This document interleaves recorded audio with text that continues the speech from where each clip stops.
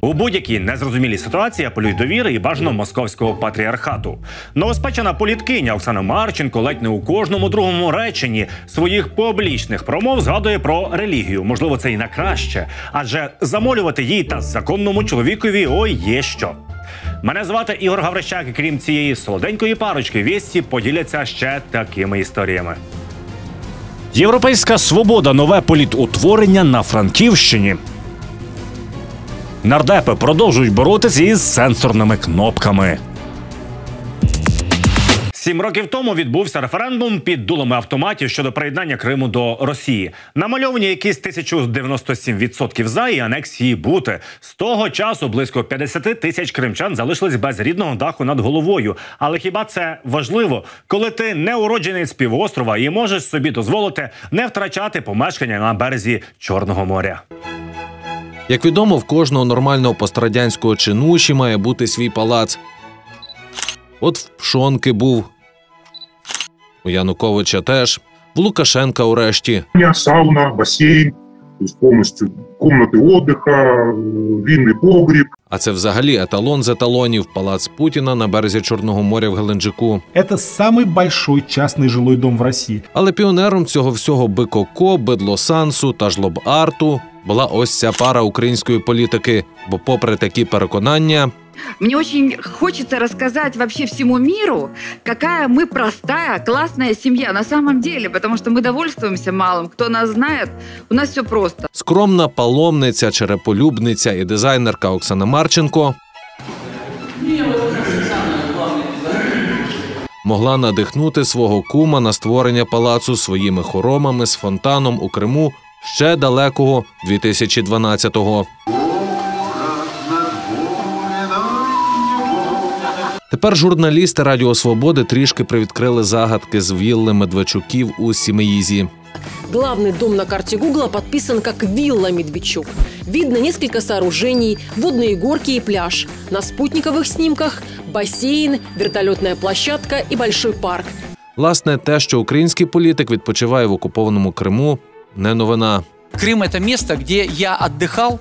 Крым это место, где, которое я любил и люблю, и где я отдыхаю сегодня. И это не является секретом ни для в Украине. А от те, що палац ні він, ні дружина не внесли в декларацію, це вже цікаво. Хоча для того, щоб бути власником хати, перед тим потрібно бути власником російського паспорта. В 2020 году президент Путин своим указом расширил перечень приграничных территорий, где иностранцы и зарубежные компании не могут владеть землей. Зрештою, сумнівати, що Медведчуки поїдуть цього року в окупований Крим, не доводиться, адже після санкцій За 14 кілометрів від нашого кордону на території Російської Федерації знаходиться один із нафтопереробних заводів, який володіє пан Медведчук спільно зі своєю супругою і пан Козак спільно зі своєю супругою.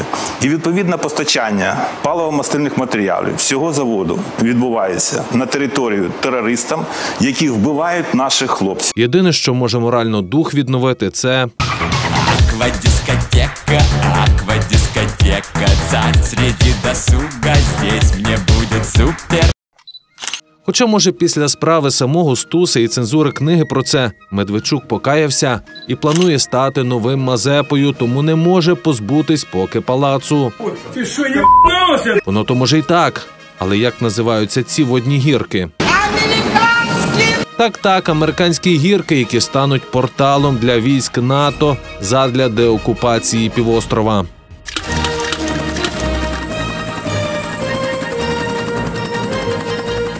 Хоча, може, це й занадто, бо значно правдоподібніше, що після того, як хворий кіт Марченко пішов у церкву і вилікувався, після своєї болезні, що даже не виздоровів, Косінька став ходити зі мною на утренние молитвы. тепер має піти в Кошкін дом для повної реабілітації. Надвірна на Івано-Франківщині то далеко від зони бойових дій, але коли до виборів залишаються лічні дні, і там стає гаряче. Тим паче кандидати, які артилерист Кошулинський, Маруся Звіробій, яка навіть головнокомандувачу виклик кидала. Шевченко, який чуть лідера радикалів не вбив у кулуарах ради. А про Вірастюка вже сам його вигляд усе скаже. Аби ця вибухова суміш не здетонувала, комусь потрібно було вийти з гри. Коли до фінішу залишається зовсім трошки, витримують не всі. Ветерани парламентської президії в грі, важковаговики курортного бізнесу також. Просто важковаговики цього взагалі випхати нереально. А от і леді в такій компанії виявилося некомфортно. Кандидатка у депутати від Європейської солідарності Маруся Звіробій Біленька вирішила знятися із довиборів на окрузі на Івано-Франківщині на користь кандидата від свободи Руслана Кошулинського. Розуміючи, що своїм взаємопоборюваннями ми з Кошулинським можемо відкрити дорогу представникам олігархів до Верховної Ради, Тобто однопартійка Порошенка об'єдналася із однопартійцем Кривецького. один з найбагатших людей Львова, і у вас абсолютна, ну можна сказати, олігархічна модель. Щоби перешкодити представникам олігархів потрапити в парламент. О, о, олігархи! Ніхто не знає, хто перший вийшов із пропозицією співпраці. Товариство, ну давайте разом посвистимо.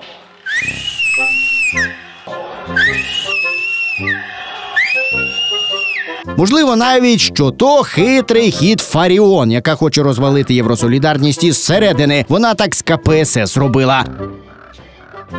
Або просто свободівцям стало зовсім сумно на задвірках політики. Я теж може хочу шоколад. Задумала. Мені дуже шоколад. Звісно, наговорили за останні роки на медведчуківських каналах багато. Такі люди, як Порошенко, вони не здатні боротися, вони здатні красти і гарбати. Але після того, як все закрили, старі союзники стали неактуальні. Добре, знай єдину державну мову російську. Тепер партнери по танцю інші.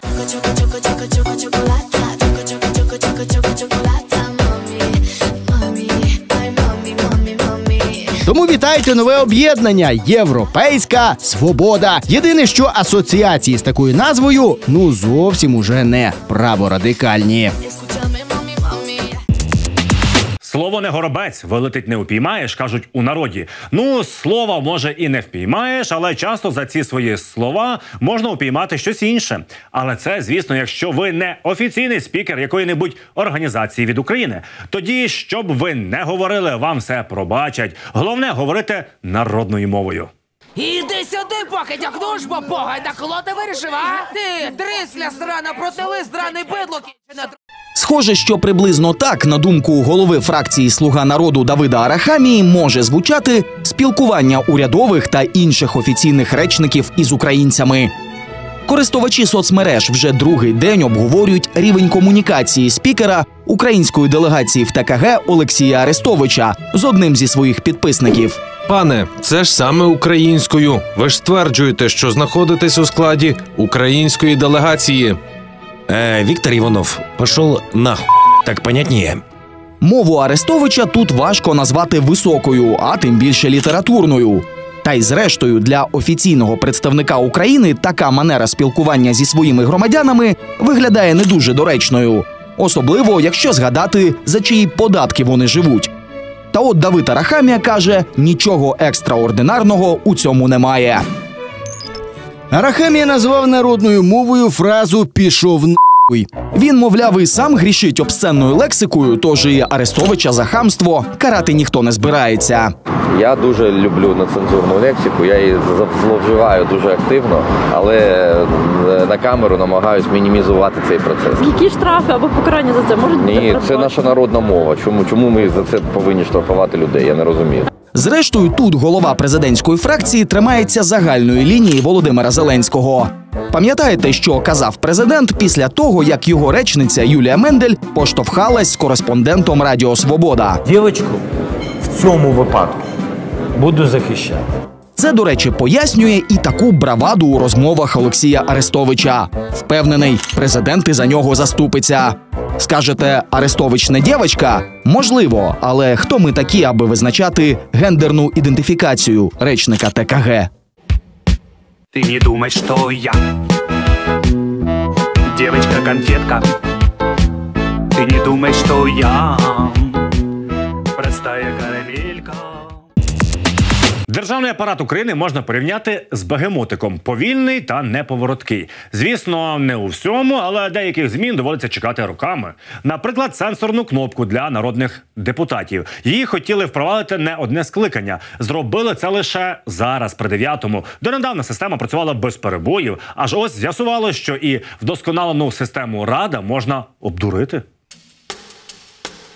Сенсорні кнопки в парламенті не новина для України. Їх вже ставили у 2008-му за спікерства Яценюка. Але систему чесного голосування зробили так криво, що однією рукою сам же Яценюк її обдурив. Тому запуск перенесли. Вже при другій спробі у 13-му регіонали одразу знайшли у ній баг. Кнопка вот включена. Пожалуйста, я разок. Я убрал. Ти кнопка, б.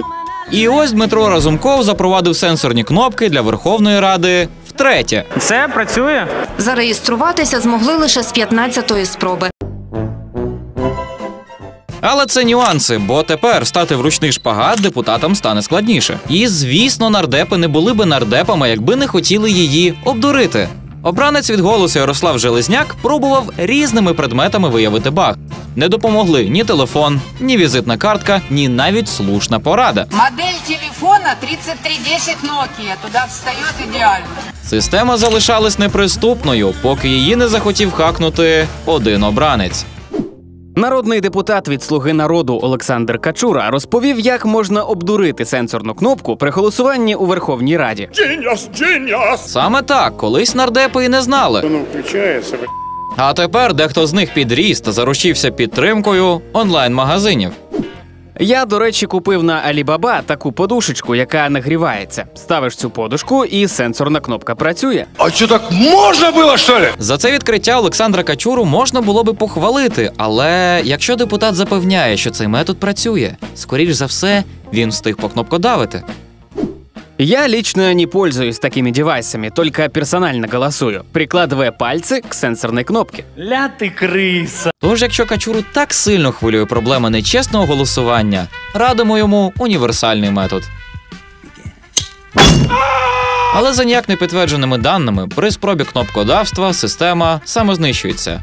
Жертвами чогось подібного сьогодні стали голосівці. Димиться система рада. Більш цікавого, феєрично кольорового та зашкварного ви можете переглянути на нашому youtube каналі Вєсті. Тож підписуйтесь і не забувайте писати нам на нашу електронну пошту Вєсті собачка Укрнет. Мене звати Ігор Гаврищак. Бережіть своє здоров'я.